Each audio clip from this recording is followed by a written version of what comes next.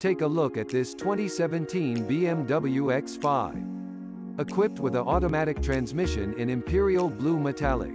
This car comes with some great features including all-wheel drive, child safety locks, alloy wheels, anti-lock brakes and more.